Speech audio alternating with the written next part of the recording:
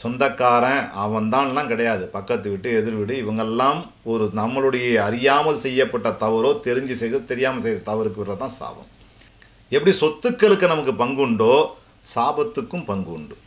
பிரசவ கால உதவின்னு சொல்லுவோம் தெரியுமா? பிரசவ நேரத்தில் அவங்கள கொண்டு போய் ஆஸ்பத்திரியில் சேர்க்கறது டெலிவரி பார்க்கறது இல்லை பணம் இல்லாமல் அவங்க கஷ்டப்படுறத அந்த ஆஸ்பத்திரிக்கு செலவுக்கு பண்ண அதை செய்யறது. ஒரு குழந்தை ஜனனமாகக்கூடிய ஒரு விஷயத்துக்கு நீ உதவி செஞ்சிட்ட அப்படின்னா முன்னோரிட்ட சாபம் பூரா கரையும். ஏதாவது ஒரு குழந்தை நோய்வாய்ப்பட்டிருந்தால் அதுக்கு உதவி செய்யலாம். அந்த குழந்தைக்கு வயசு மூணுக்குள்ளே இருக்கும். குறிப்பிட்ட அந்த சாபத்துக்கு அந்த மூணு வயசுக்குள்ளே தான் கணக்கு. இவங்க நோய்வாய்ப்பட்ட குழந்தையாக இருந்தாலும் அந்த குழந்தையுடைய மருத்துவ உதவியோ இல்லை ஏதோ எந்த வகையிலையாவது நீ கொஞ்சம் பலமான உதவி செய்தால் இதே விஷயம் சரியாகும். பணத்தை ஈர்க்கும் ஒரு ரகசியம் இல்லை ஒரு தந்திரம்னு கூட சொல்லலாம். திரவிய பட்டைன்னு ஒரு பொருள். அடுத்தது சந்தன சக்கை. வெள்ளருக்கு வேறு. வெள்ளருக்கு வேறு கிடைக்கலன்னா வெள்ளருக்கு கட்டை. வெள்ளருக்கு கட்டையும் கிடைக்கல. நான் முயற்சி பண்ணிவிட்டேன் நாட்டு மருந்து கடையில் வெள்ளருக்கு நாருன்னு ஒன்று கிடைக்கும். அதாவது குழந்தைங்களுக்கு இடுப்பில் கட்டுற அரணா கயிறு இது எல்லாமே எவ்வளோ இருக்கணும்னா எல்லாமே ஒரு பத்து பத்து கிராம் இருக்கணும். அத்தரில் ஊற வச்சுக்கணும். அதை ஊறினதுக்கப்புறம் அதை எடுத்து பொதுவாக உலர வைக்கணும் அது. பேப்பரில் சுற்றிக்கிங்க நாட்டு மருந்து கடையில் இந்த எந்திரம் எழுதுகிற தகடு இருக்கும். மெலீஸாக இருக்கும். பேப்பர் மாதிரி இருக்கும். அந்த தகடை வாங்கி அதில் இதை வச்சு மடிச்சு மேல் பாக்கெட்டில் வச்சுக்கணும். பேக்லேயும் வச்சுக்கலாம். இல்லை கடையாக இருந்தால் கல்லால் வச்சுக்கலாம். வெளியில் போகிறோன்னா அதை கையில் எடுத்துக்கலாம். அது என்ன பண்ணணும்னா இந்த பணத்தை ஈர்க்கும். பணசக்தியை இழு இழுத்து கொடுக்கக்கூடிய சக்தி அதுக்கு உண்டு. அதாவது பூர்வ ஜென்ம கர்மான்னு சொல்லுவாங்க. நம்மளுடைய கர்மா கழியறதுக்கு மாற்றுத்திறனாளிகளாக இருக்கக்கூடிய யாசகர்கள் அவங்களுக்கு நம்ம வீட்டில் சமைச்சு நம்ம கையால் சாதம் சமைச்சு கொண்டு போய் அவங்களுக்கு அன்னதானமாக கொடுத்தால் இந்த கர்மா கழிக்கலாம். இதுக்கு கிழமை என்னென்னா செவ்வாய்க்கிழமையும் வியாழக்கிழமையும் ஞாயிற்றுக்கிழமையும் சிறப்பு. நான் தனியாக இருந்துக்கிட்டு இருக்கிறேன் நான் வீட்டிலே சமைக்கிறதில்ல ஹோட்டலில் தான் சாப்பிட்டுன்னு இருக்கிறேன் நான் ஹோட்டலில் ரூம் எடுத்து தங்கியிருக்கிறேன் அப்படின்னா கடையில் வாங்கி கொடுக்கலாம். பைரவர்கள் அதாவது நாய்களை நம்ம பைரவர்கள்னு சொல்லுவோம். தெரு நாய்களுக்கு குறிப்பாக ஊர் இல்லாத இடம். நீங்கள் ஒரு இடம் போகிறீங்கன்னா மெயின் ரோட்டில் ஊர் இல்லாத இடத்துல நாய் சுற்றிக்கிட்டு இருக்கும். ஒரு ஃபாரஸ்ட் பக்கம் ஒரு ரோடுங்களாம் நிறைய ஃபாரஸ்ட் ரோடு அங்கே வந்து நாய்கள் சுற்றிக்கிட்டு இருக்கும். அந்த மாதிரி இடத்துல இருக்க நாய்களுக்கு உணவு கொடுக்கணும்.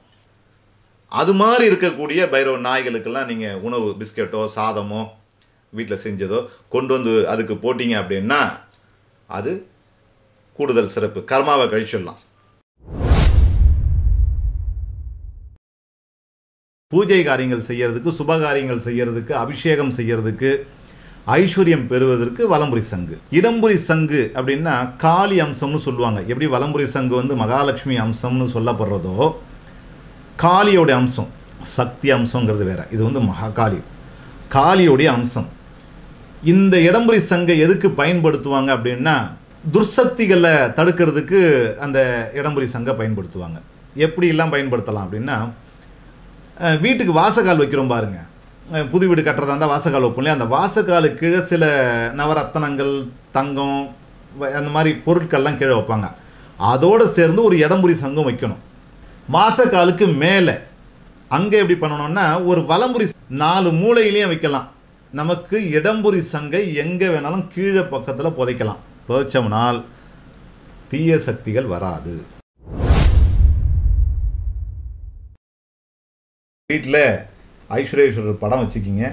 அப்படி அப்படி இல்லை அப்படின்னா சிவபெருமானுடைய படம் வச்சுக்கலாம். வீட்டில் ஒரு குத்து விளக்கு ஏற்றிக்கிங்க அந்த குத்து விளக்கில் ஒரு முக திரி போட்டால் போதும். அதை கிழக்க பார்த்துருக்கணும் நீங்கள் மேற்க பார்த்து உட்காந்துங்க சுத்தமான துணி இருக்கணும்.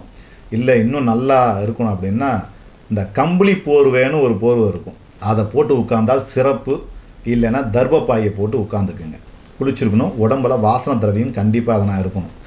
கொஞ்சம் உதிரி பூக்களை எடுத்துக்குங்க. ஓம் நமச்சிவாய ஆதி சிவாய சிம் அம் சர்வ ஐஸ்வர்யமும். மம வசி வசி நம ஸ்வாஹா.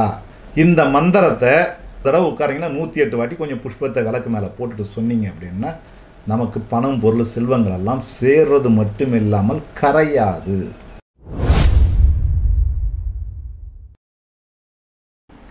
அதாவது உயர்ந்த பொருள் அல்லது தங்கம். நம்ம தங்கம் தான் எடுத்துக்குவோம்.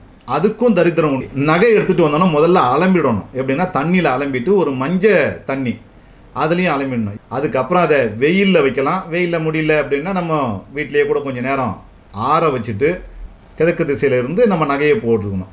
அப்படி போட்டால் அந்த நகை தோஷம் இல்லாமல் இருக்கும். தோஷ சாந்தி பண்ணாமல் திருமாங்கல்யம் நம்ம வந்து புது திருமாங்கல்யத்தை பயன்படுத்தக்கூடாது. ஒரு நல்ல நெத்தான நல்ல தேங்காய் ஒன்று வாங்கிக்கணும். வாங்கிட்டு அதை சரி பாதியாக உடைச்சிடணும். உடச்சி மேலே ஒரு பாதி இப்போ கிண்ண மாதிரி இருக்கும் பார்க்கறதுக்கு உங்களுக்கு. அதில் நாம் நகைகளெல்லாம் அந்த கிண்ண மாதிரி இருக்கிறதுல போட்டு மேலே ஒரு வாழலை போட்டு மூடிடுங்க. மூடிட்டு ஒரு ஒரு மணி நேரம் ரெண்டு மணி நேரம் அப்படியே வச்சுருந்துட்டு ஒரு கற்பூரம் காட்டி எடுத்து பயன்படுத்தினோம்னால் அந்த நகை ஐஸ்வர்யமாக